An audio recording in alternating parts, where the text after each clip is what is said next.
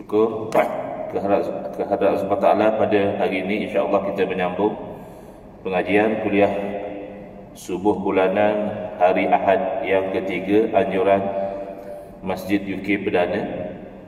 Menggunakan kitab kekeliruan umat. Inilah jawapannya susunan Al-Fadil Ustaz Mahathir bin Haji Jul Hafizahullah Ta'ala wa nafa'ana bihi wa bi'ulumihi fid daraini. Amin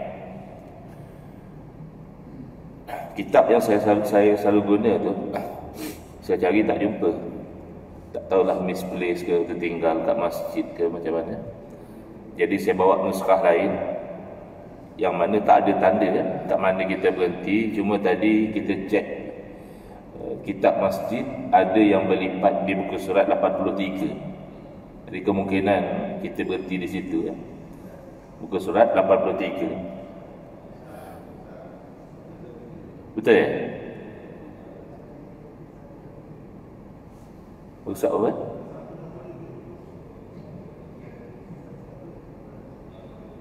Tak dengar. 117.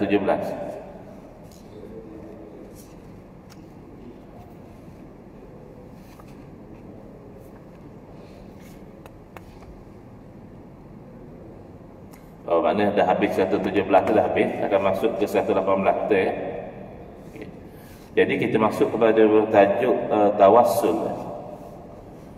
Ah, kerana isu tawassul ini ia asalnya tidak ada kekeliruan. Tapi mulai daripada kurun ke-8 Hijrah Al-Imam Ibn Taymiyah rahimahullah beliau menzahirkan pandangan yang berbeza dari para, para alim ulama yang lain tentang makna tawassul, hukum tawassul, dan sehingga sekarang pendirian beliau itu diwarisi oleh golongan yang mengidolakan beliau yang kagum dengan ketokohan beliau. Lalu tawasul itu ada yang diharamkan oleh golongan ini. Jadi itulah tujuan Ustaz Mahathir masukkan ke dalam kitab ini.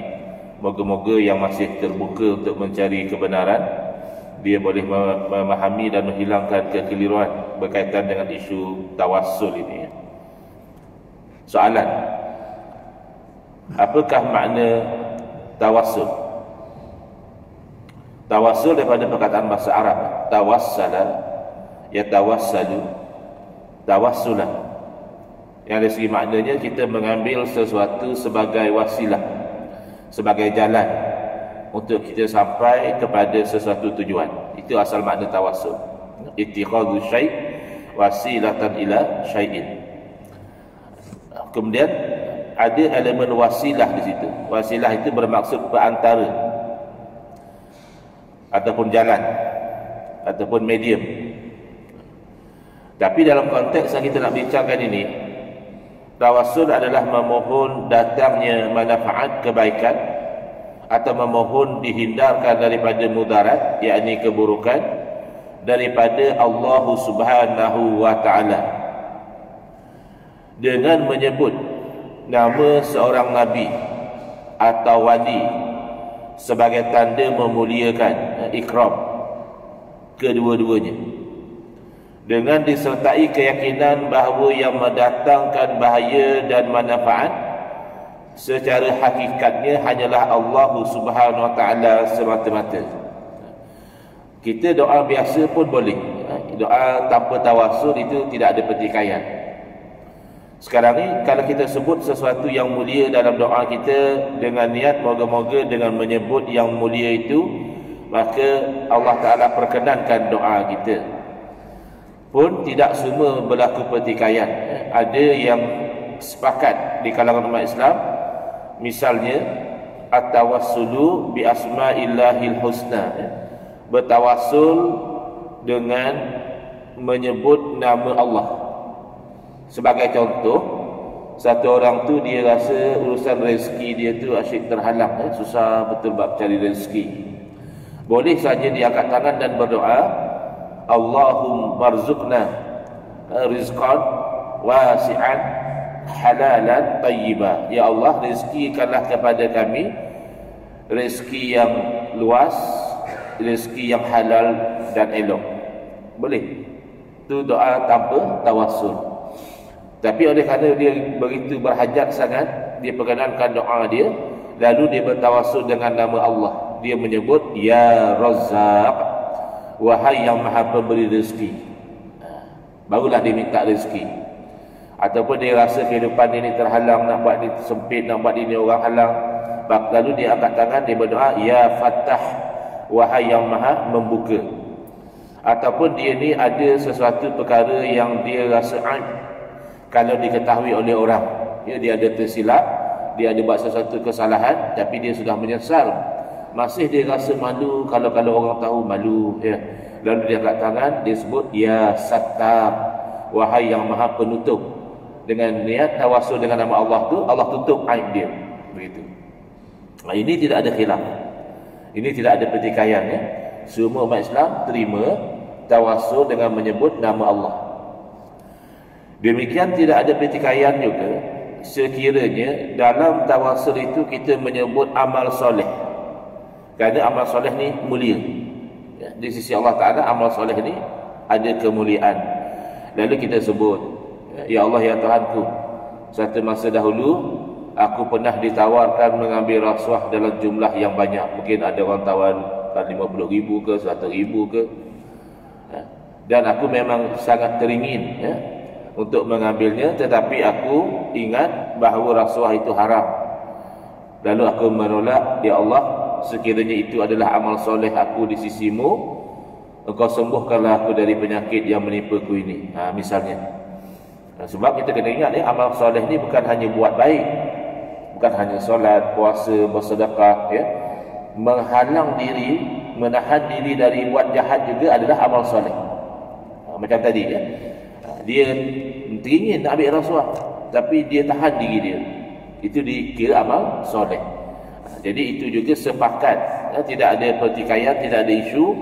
Boleh tawasul dengan menyebut amal soleh mula jadi kekhiruan adalah melibatkan tawasul menyebut orang soleh.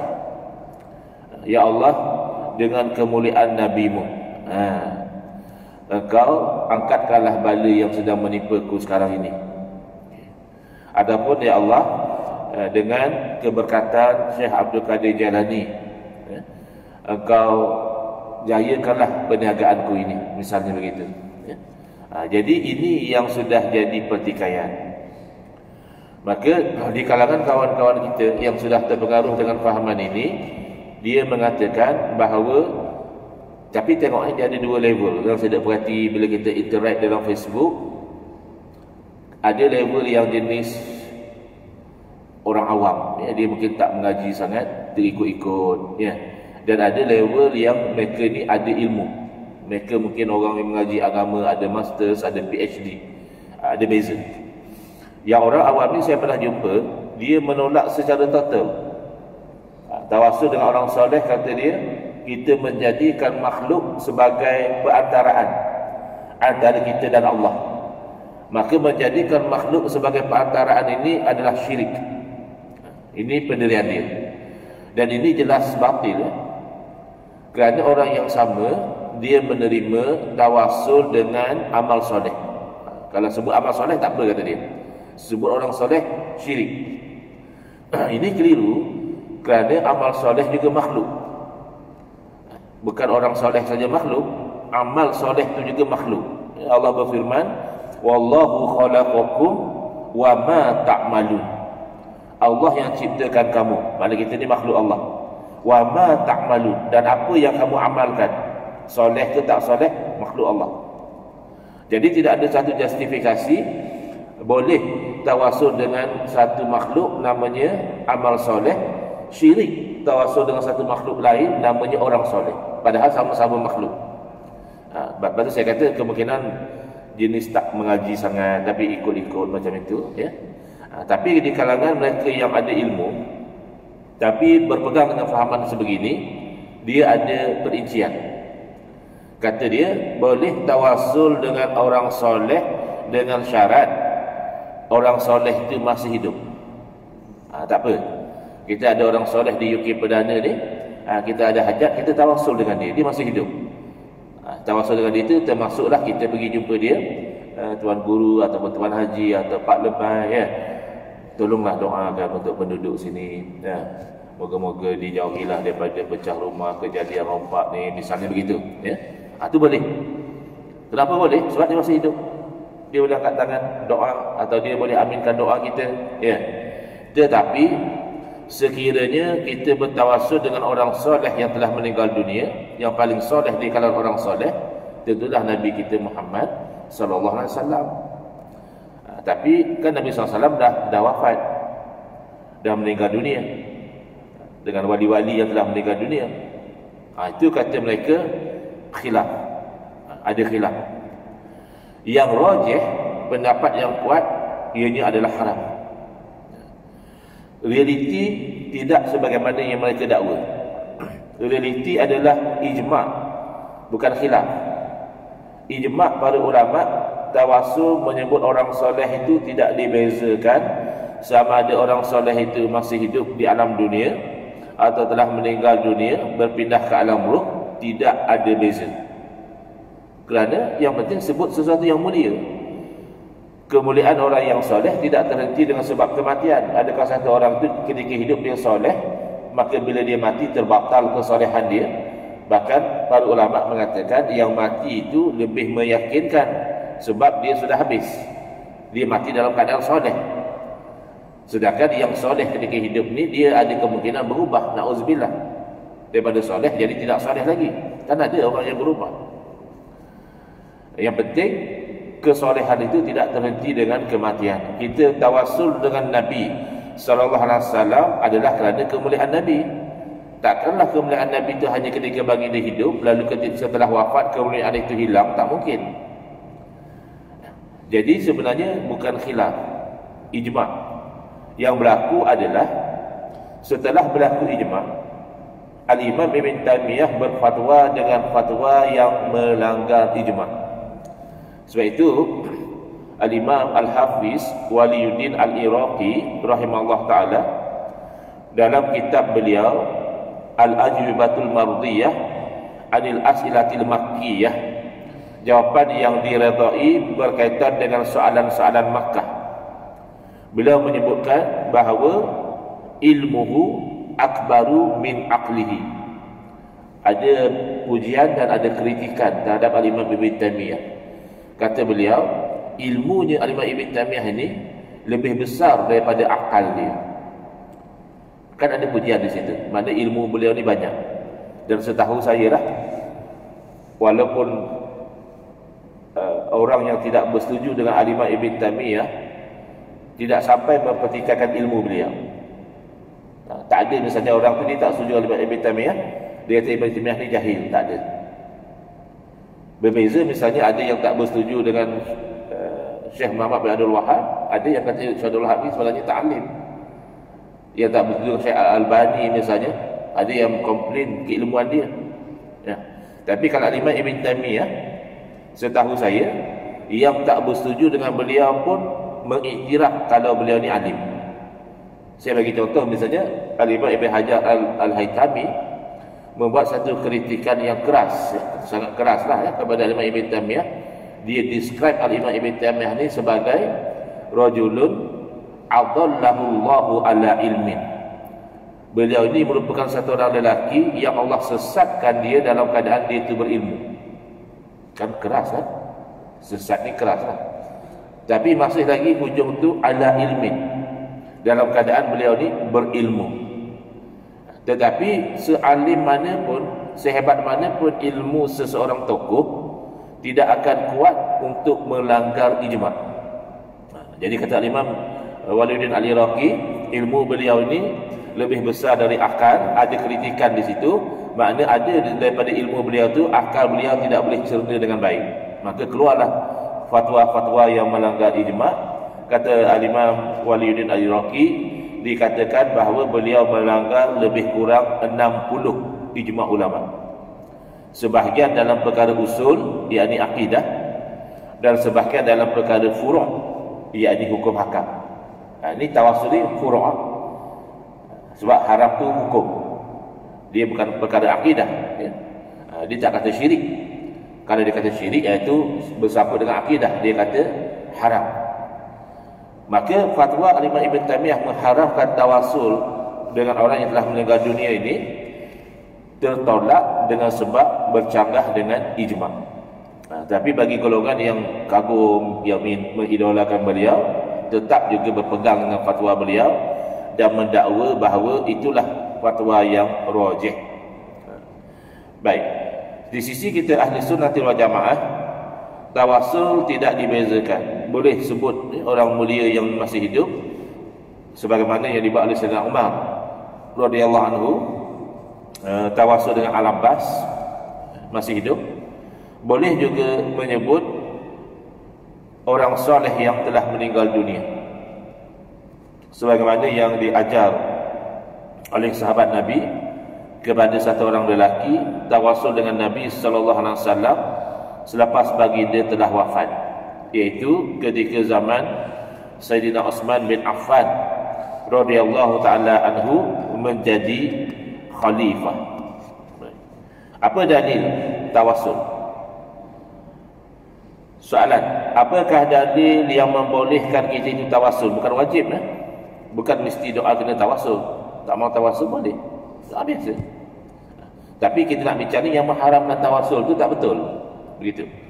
Ha, dalil boleh tawasul yang pertama dalil umum daripada ayat suci Al-Quran Allah berfirman Ya ayuhalladzina amanu taqullaha wabtaghu ilaihi alwasilah Wahai orang-orang yang beriman hendaklah kamu itu bertakwa kepada Allah dan hendaklah kamu itu cari kepada Allah taala wasilah yakni jalan yang menyampaikan kepada ridha Allah dan menyampaikan kepada perkenan doa daripada Allah Ta'ala. Ya. jadi wasilah ini termasuklah amal soleh. Ha, termasuklah doa-doa menyebut sesuatu yang mulia dalam doa. Maka orang yang anti tawasul dia kena ingat dia akan jadi anti kepada amalan yang diajar oleh Rasulullah sallallahu alaihi wasallam. Nabi yang ajar doa tawasul jadi kena cermatlah Jangan semata-mata kerana kagum dengan Alimah Ibn Taymiyah sampai menepikan sunnah Nabi sallallahu alaihi wasallam. Ha. Contoh doa tawasul yang diajar oleh Nabi sallallahu alaihi wasallam ini untuk orang yang nak pergi masjid. Baca doa ni ya. Muka surat 119. Allahumma inni as'aluka. Ha, boleh saja minta terus ya. Allahumma inni as'aluka antun kirani minan nar. Ha, terus pergi pada permintaan. Boleh. Tapi Nabi ajar tawasul. Allahumma inni as'aluka bihaqqis sa'ilina alaika. Ya Allah, aku memohon kepadamu dengan hak orang yang memohon kepadamu wa bihaqqi mamsyawi dan dengan hak langkah perjalanan aku ni fa inni lam akhruj asyara wala batara wala riya wala sum'ah. Aku keluar ni bukan dalam keadaan aku sombong riya ataupun sum'ah nak dapatkan nama bukan. Kharajtu tiqa'a sakhatik. Aku keluar ni memohon lindung daripada kemurkaanmu. Wabtigha amardatik dan mencari ridhamu ha, ini cerita dulu. Tawassul dengan permintaan orang-orang hak orang-orang yang berdoa tawasul dengan langkah-langkah menuju ke masjid tawasul dengan niat yang baik tadi barulah as'aluka an turqidani minan aku memohon kepadamu selamatkanlah aku daripada api neraka. Wa antaghfirli dhunubi dan bahawa kau ampunkan bagiku dosaku. Innahu la yaghfiru dhunuba illa anta sesungguhnya tidak ada yang boleh mengampunkan dosa jadi engkau. Baik.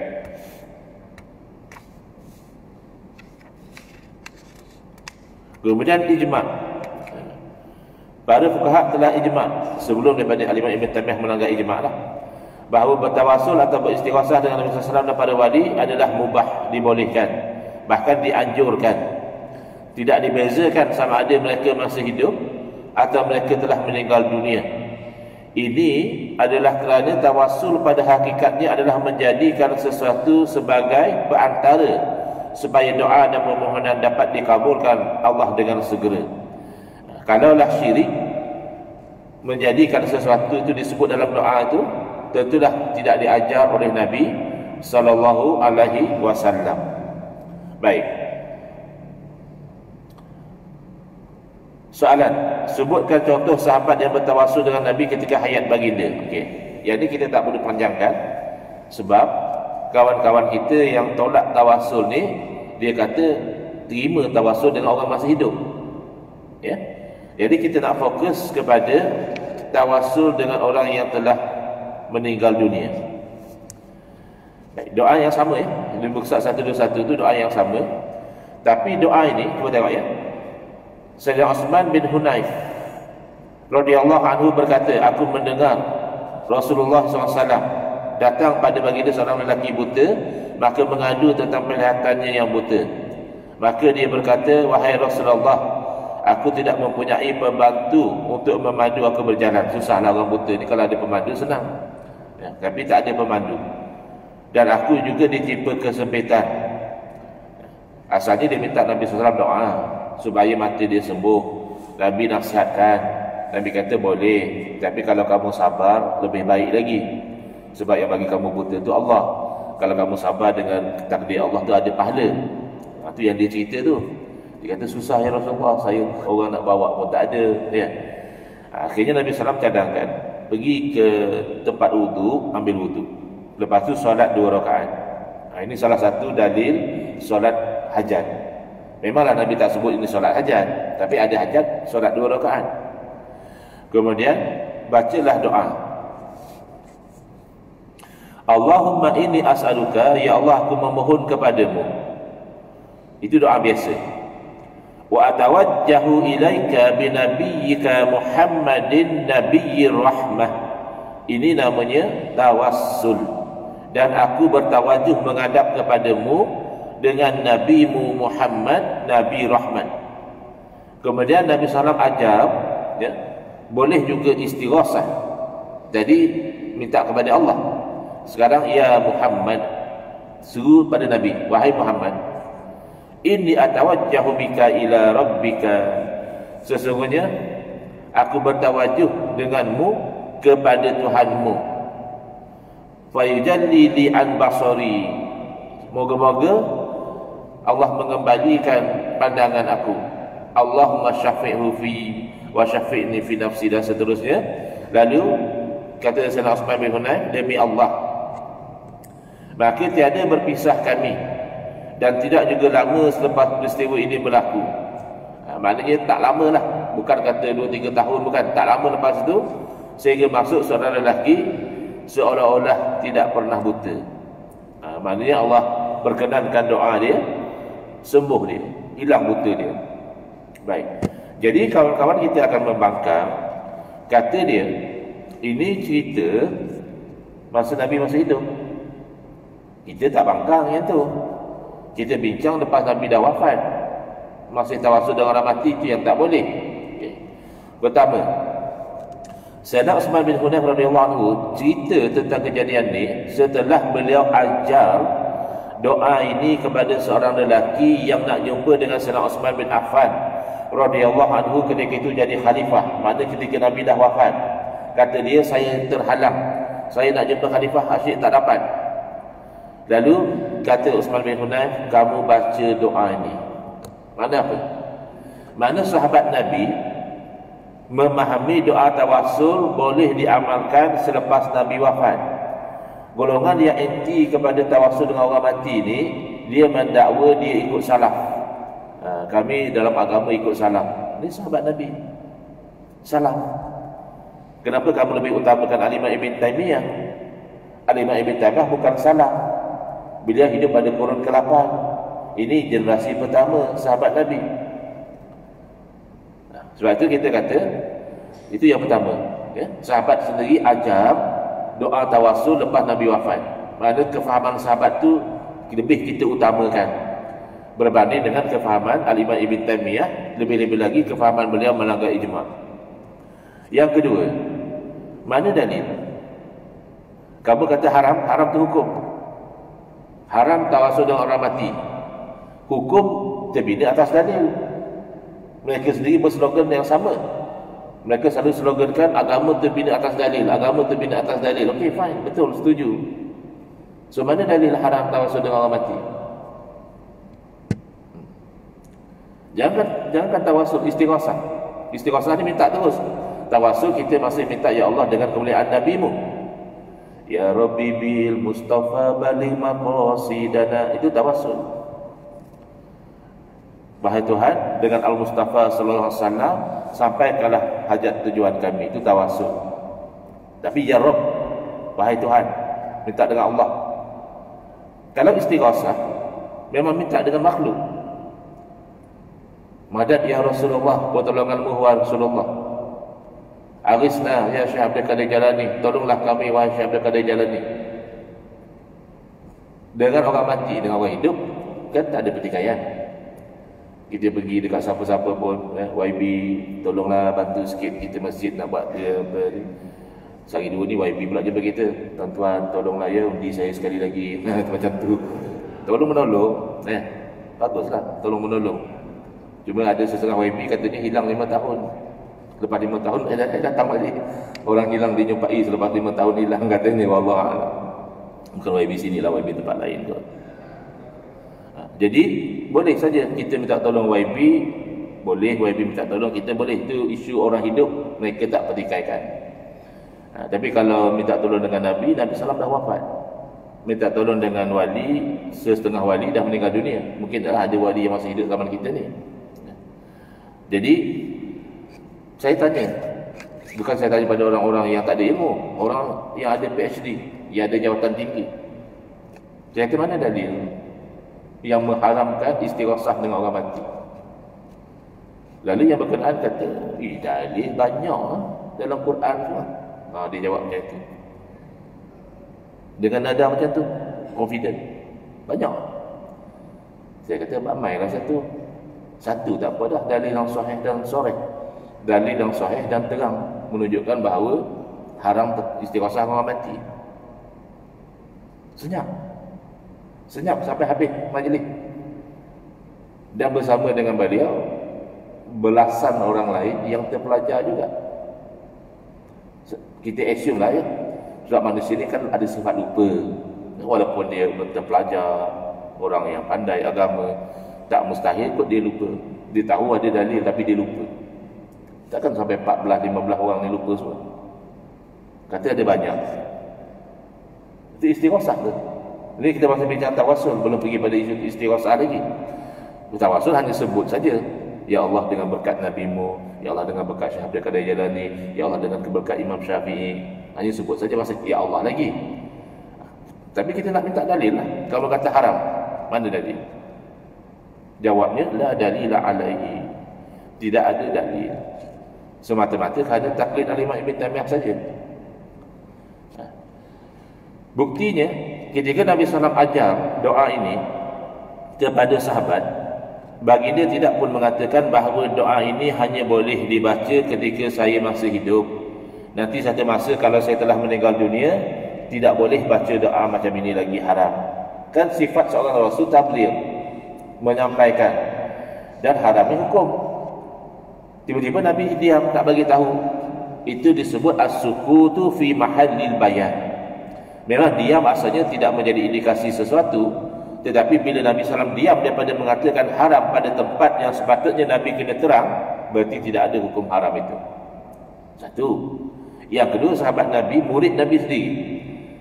Agak-agak murid Nabi yang hidup sama dengan Nabi lebih faham hukum atau alimah Ibn Tamiyah yang hidup 700 tahun lepas daripada Nabi SAW. Itulah sahabat Nabi lebih faham hukum. Sahabat Nabi ajar doa tawasul lepas Nabi wafat. Yang ketiga. Yang mereka sangkakan dalil. Iaitu kejadian. Sayyidina Umar radhiyallahu anhu ketika melakukan istisqa minta hujan Sayyidina Umar tawasul dengan Al-Abbas iaitu bapa saudara Nabi sallallahu alaihi wasallam yang mana lebih kurang maksud doa Sayyidina Umar adalah ya Allah dahulu ketika istisqa juga dahulu kami tawasul dengan rasulmu tawasul dengan nabi sekarang kami bertawasul dengan bapa saudara kepada rasulmu. Berilah hujan kepada kami. Ha, lalu turun hujan. Jadi dakwa mereka itulah dalil haram tawasul dengan orang mati. Sebab kalau boleh tawasul dengan orang mati kenapa Sayyidina Umar tak tawasul direct dengan Nabi SAW kenapa pergi tawasul dengan orang yang masih hidup? Ha, jadi ini sebenarnya bukan dalil ini hanyalah inter, interpretation kamu. Kamu yang interpret macam itu. Tak ada dalam kejadian itu Sayyidina Umar sebut misalnya Ya Allah dahulu kami tawasul dengan Rasulmu Tapi oleh kerana Rasulmu telah wafat dan kami dilarang Tawasul dengan orang mati Maka ah begitu. Tak ada. Ini hanya kamu interpret. Dan interpretasi kamu bercanggah dengan Penerangan Sayyidina Umar sendiri bercanggah dengan kata-kata Al-Abbas sendiri. Sayyidina Umar kenapa tawasul dengan Al-Abbas? Tak tawasul dengan Nabi direct. Sayyidina Umar lepas kejadian itu pidato pada orang ramai. Sayyidina Umar bagi tahu dahulu Rasul sallallahu alaihi wasallam memandang Al-Abbas sebagaimana seorang anak memandang kepada bapa. Maknanya hormat. Kerana Al-Abbas ni bapa saudara Nabi sallallahu alaihi wasallam dan kita tahu bapa sebenar meninggal dunia ketika Nabi SAW belum lahir lagi. Jadi bila ada bapa saudara yang rapat, Nabi hormat betul. Nah. Lalu Sayyidina Umar berpesan, wahai orang ramai, wahai manusia, ikutlah sunnah Nabi kamu. Muliakanlah Al-Abbas. Ambillah beliau itu sebagai wasilah dalam doa kamu. Jadi asas kenapa Sayyidina Umar bertawasul dengan Al-Abbas bukan kerana kewafatan Nabi tapi kerana nak ikut sunnah Nabi memuliakan Al-Abbas. Dan Al-Abbas juga ketika kejadian tersebut mengatakan Ya Allah manusia itu menjadikan aku wasilah kepada kamu kerana kedudukan aku yang istimewa di sisi Nabi-Mu. Bukan kerana Nabi dah wafat. Jadi ini namanya memandai-mandai membuat hukum yang tidak ada dalil bercanggah dengan kefahaman para sahabat dan bahkan kejadian yang dilakukan disebut oleh Imam Nawawi dalam kitab Al-Azkar cerita tentang menziarahi uh, kubur Nabi atau makam Nabi SAW iaitu daripada Imam Al-Utbi di mana beliau berkata ini cerita lepas Nabi dah wafat dah ni. Adalah satu ketika aku duduk di samping kubur Nabi maka telah datang seorang Arabi mengucapkan salam kepada Nabi SAW dengan katanya Assalamualaikum ya Rasulullah lalu orang Arabi Arabi ni mana apa? Arab kampung eh? Arab Badawi eh? Arab kampung lalu dia menyebut lagi aku telah mendengar Allah berfirman walau annahum izzalamu anfusahum ja'u kafastaghfirullaha wastaghfar lahumur rasulu lawajadullaha tawwabar rahima. Jadi kata orang Arab Badawi tadi bagi salam dulu pada Nabi SAW jadi mengatakan aku telah mendengar firman Allah. Kalaulah mereka itu ketika mana mereka zalim pada diri mereka sendiri maknanya buat dosa Lalu ja'uka Mereka datang kepada kamu. Datang kepada Nabi SAW Fastaghfarullah Dan mereka itu beristighfar kepada Allah. Wastaghfarulahumur rasulu Dan Rasul juga beristighfar Memohon ampun buat mereka. Lawajadullah tawwabar rahimah. Nescaya mereka akan dapati Allah maha menerima taubat Dan maha kasih belas. Mana bila orang itu tawasul dengan Nabi Nak minta ampun Allah ampunkan. Itu maksud ayat Quran Lalu orang Arab Balawi tadi melantunkan syair. Eh, kata dia apa? Ya khairu man dufinat bil qa'i a'zamuhu wa taba min tibihin al qa'u wal akimu. Nafsil fida'a li qabrin anta sakinuhu fihi al afafu wa fihi al jud wal karamu. Kalau orang yang pandai bernasyid dia boleh lantunkanlah dengan lagu-lagu dia. Maknanya apa? Wahai manusia yang terbaik bersemadi dalam bumi jasadnya maka harumlah lembah dan bukit dengan keharumannya. Jiwaku jadi tebusan kubur yang engkau penghuninya. Dalamnya ada pribadi yang suci pemurah lagi mulia. Ada tebi meneruskan ceritanya. Kemudian dia berpaling meninggalkan makam Nabi SAW ya, orang Arab Badawi tadi. Dan aku, aku merasa mengantuk dan aku bermimpi melihat Nabi SAW dalam tidurku dan baginda bersabda kepadaku wahai Utbi segera berjumpa Arabi itu dan khabarkan berita gembira kepadanya bahawa Allah telah mengampuninya. Ya. kalau dah syirik tawasul dengan orang mati takkan jadi wasilah Allah ampunkan dosa dia. Dia buat benda syirik. Jadi mungkin mungkin akan bangkang. Kata dia ini kan mimpi je. Ya. Eh, mimpi ni bukannya dalil. Kita put aside soal mimpi.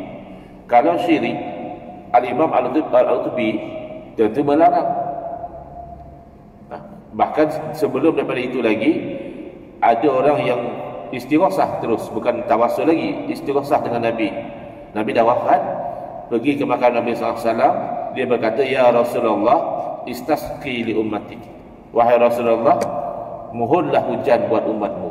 Nah, ini dicatat dalam kitab Fathul Bari oleh Alimah Ibn Hajar Asqalani syarah kepada Sahih Bukhari dan berita itu sampai pada Sayyidina Umar. Sama juga lelaki itu tertidur dan bermimpi Nabi SAW uh, eh, hadir dalam mimpi dan memberi beberapa pesan dan dia sampai kepada Sayyidina Umar. Ya, Sayyidina Umar menangis, menjawab salam Nabi SAW dan seterusnya. Eh, itu kan mimpi je. Mimpi soal lain. Dan mimpi yang yang solehah pun adalah diterima. Itu dia panggilnya mubasyirat. Kekabaran gembira adalah mimpi-mimpi yang elok. Mimpi jumpa Nabi ni termasuk mimpi yang elok al-ruyah salihat tapi kalau kita put aside soal mimpi kalaulah betul istighasah atau tawasul dengan mati syirik boleh pelaksanaan Umar relax. Hanya kalau jawab salam saja. Mustahil. Sayyidina Umar ni kan orang yang keras, tegas dalam mempertahankan tauhid, mempertahankan agama. Tiba-tiba berlaku sampai berita benda syirik, minta tolong orang mati, Sayyidina Umar tak tak larang? Sahabat lain semua tak ada larang? Tak mungkin. Jadi uh, kejadian ini menunjukkan bahawa di sisi salafus soleh ya, bertawasul dengan Nabi SAW selepas kewafatan baginda tidak ada masalah ya. demikian Imam Bukhari meriwayatkan dalam kitab Al-Adabul Mufrad daripada Abdul Rahman bin Sa'ad berkata Kharirat rijlu ibn Umar. Faqala lahu rajulun uzkur ahabban nas ilaika faqala ya Muhammad fadhahaba khidru rijlihi. Jadi diceritakan bahawa ni anak Sayyidina Umar ya radhiyallahu sahabat Nabi. Satu masa kaki beliau menjadi kebas atau kejam atau krem lah kita kata. Lalu seorang lelaki berkata kepada dia nasihatkan kepada dia sebutlah sekasih-kasih manusia kepadamu. Ha, jadi orang tahu kalau Abu bin Umar ni kasih sungguh kepada Nabi SAW apa yang Nabi buat Sayyidina Umar akan tiru. Kalau Nabi misalnya pernah pakai baju terbuka satu butang Ibn Umar dia akan buat. Semata-mata nak tiru Nabi. Bahkan diceritakan bahawa beliau lalu satu jalan yang Nabi pernah lalu beliau tunduk. Sebab apa? sebab dulu Nabi SAW pernah tunduk padahal masa Nabi tunduk tu ada ada dahan yang menghalang jadi Nabi tunduk tapi nak tirunya perbuatan Nabi tu bila dahan tu dah tak ada pun Sayyidina Umar tunduk semata-mata nak tiru Nabi. Bukan Sayyidina Umar, maaf ya. Sayyidina Abdullah bin Umar, ya, anak Sayyidina Umar. Jadi orang tahulah kisah kasihnya Ibn Umar pada Nabi sallallahu alaihi orang tahu. Lalu kata dia, ya, sebutlah orang yang kau paling kasih sekali. Lalu dia sebut ya Muhammad, wahai Muhammad. Lalu hilang, Allah hilangkan sakit kaki dia. Ada sesetengah orang zaman kita ni kalau kita sebut dia Muhammad syirik. Sebab Nabi dah wafat. Syirik ni menuhankan lain pada Allah. Adakah sebut ya Muhammad ketika Nabi dah wafat dia menuhankan Nabi? Ketika Nabi hidup boleh ya Muhammad ataupun ya Rasulullah. Tiba-tiba lepas Nabi wafat ya Muhammad dah jadi menuhankan Nabi tak mungkin. Tetap kita ya Muhammad menganggap Nabi itu Nabi. Insan yang mulia bukannya Tuhan. Sebab itu bila kami berbincang lagi jadi kami ditanya boleh ke kata ya ya Isa oh Jesus jadi kami terangkanlah kalau dengan iktikad Isa itu anak Tuhan macam orang Kristian buat oh Jesus tu bagi dia Jesus tu anak Tuhan ataupun Tuhan tak boleh syirik tapi kalau dengan iktikad ya Isa itu adalah nabi min anbiya rasulun min rusul boleh Kita boleh menyebut mana-mana nama Nabi. Kan beza orang Islam muliakan Nabi Isa sebagai Nabi. Orang Kristian muliakan Nabi Isa sebagai Son of God ataupun God. Tak sama. Nanti kalau jadi budaya budak-budak sebut Oh Jesus, ah, itu cerita lain. Kalau nak tanya hukum, hukum ni terperinci. Kalau kamu sebut Ya Isa sebagai seorang Nabi, tidak syirik. Kalau kamu sebut Ya Isa sebagai Tuhan, dia syirik. Kalau budak-budak dah jadikan satu budaya sikit-sikit oh Jesus, oh Jesus, itu mungkin boleh dilarang. Kerana ada kemungkinan dia ingat oh Jesus tu macam orang Kristian. So kita sat zariah, kita sekat jalan. Tak semesti satu benda boleh pemerintah benarkan. Contohnya, berkahwin dengan ah, perempuan ahli kitab dengan nas Al-Quran dibolehkan. Yang memang ahli kitab pure lah, bukan orang Buddha kononnya masuk Kristian, orang Hindu masuk Kristian itu tak tidak ada iktiraf. Dia tetap musyrikin. Ini memang di ahli kitab, dari awal dia ahli kitab. Harus boleh kita kahwin dengan perempuan dia. Tapi kenapa zaman Sayyidina Umar radhiyallahu anhu Sayyidina Umar tak bagi? Sebab nak menjaga maslahat. Bimbang nanti jadi fitnah kepada wanita-wanita Islam. Sebab masa tu kan pada ahli kitab ni kan macam kita kata Uh, zaman kita ni perempuan mak salih lah orang Rom jadi mereka terpikat tengok cantik jadi kalau pakat kahwin ahli kitab jadi fitnah pada perempuan-perempuan muslimah jadi saya Umar larang itu bukan kerana haram tapi kerana nak mengelakkan kemudaratan yang mungkin berlaku. Kalau dibiarkan uh, amalan berkahwin dengan ahli kitab ini berleluasa. Itu soalan nombor dua. Boleh saja nak sekat daripada budak-budak ni kan dia tak tahu beza. Dia ingat oh Jesus tu macam okey padahal sudah teriru orang Kristian dan sebagainya. Itu soalan nombor dua.